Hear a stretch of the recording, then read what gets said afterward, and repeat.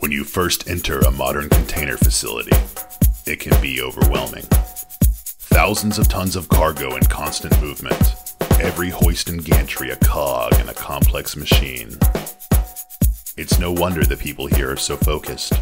They know to keep the machine running, they must play to win.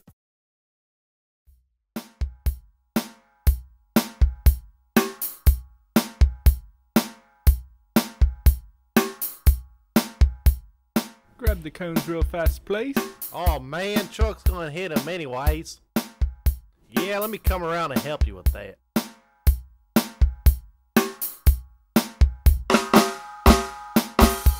Not putting safety cones out wasn't such a good idea, but he did have a point.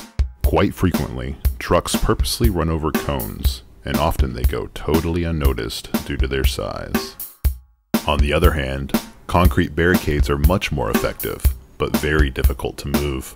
If the ease of use isn't there, it's doubtful they will be employed as temporary blockades. But not putting them out is obviously not an option.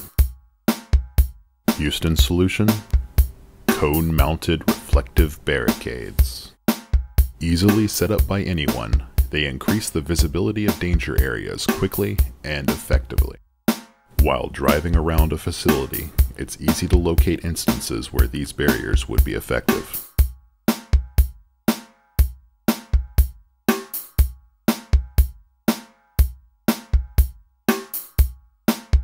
Not only that, they're also exceptionally easy to break down and store.